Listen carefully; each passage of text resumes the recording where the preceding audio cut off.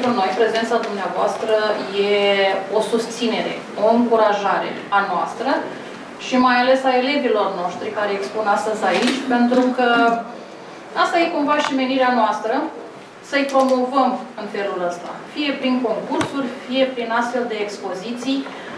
Uh, bineînțeles că se simt, se simt mult mai împliniți în momentul în care își văd lucrarea undeva într-un spațiu uh, ca acesta, pe simeze, există așa o satisfacție și dacă toți suntem la capitolul ăsta și pentru că toți spun că îi încurajăm și promovăm, țin să vă anunț că expoziția va fi o expoziție cu vânzare.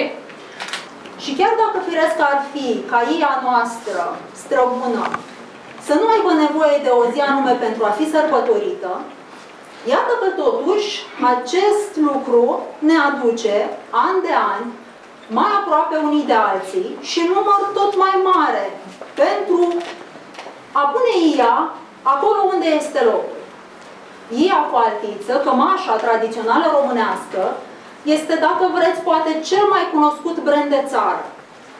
Este un bun de patrimoniu național pe care specialiștii uh, etnografi din țară se străduiesc să-l transforme într-un bun de patrimoniu internațional și să fie recunoscută astfel de UNESCO și am înțeles că formalitățile sunt destul de înaintate, astfel încât la anul sperăm ca pe vremea aceasta să vorbim despre ea cu altiță protejată de UNESCO.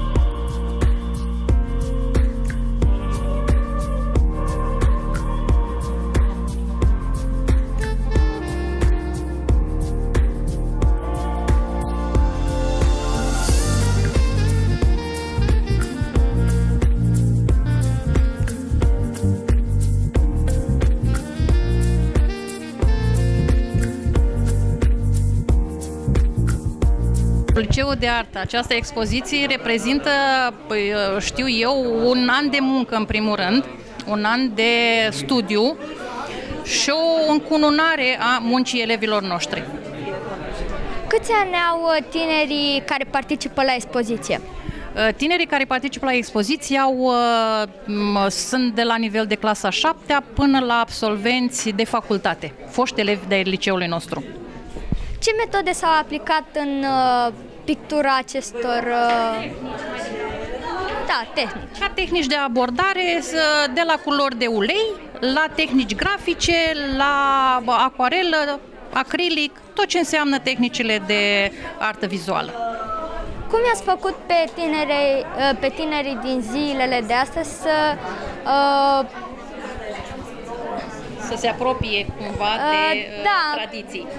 Păi, așa cum a spus și doamna profesor Tocariu, uh, proiectul nostru de colaborare a debutat prin o vizită la secția de artă și etnografie a muzeului, acolo unde elevii noștri au redescoperit tot ce înseamnă straie țărănești. Și de acolo mm, am început și am încercat să facem această expoziție.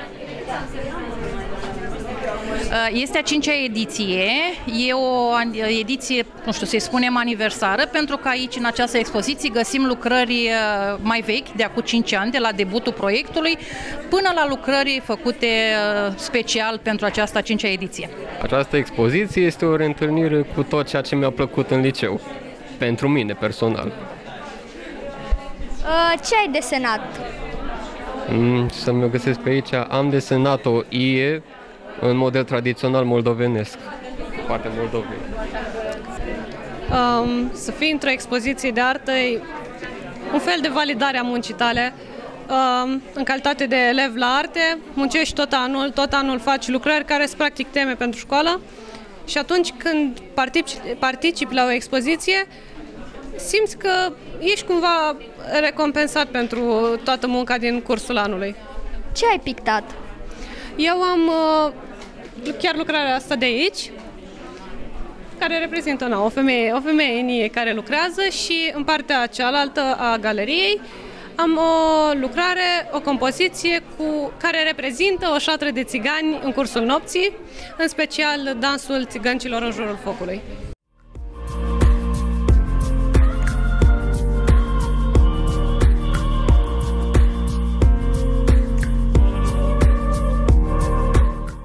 Proiectul nostru de colaborare a debutat prin o vizită la secția de artă și etnografie a muzeului, acolo unde elevii noștri au redescoperit tot ce înseamnă straie țărănești. Și de acolo am început și am încercat să facem această expoziție.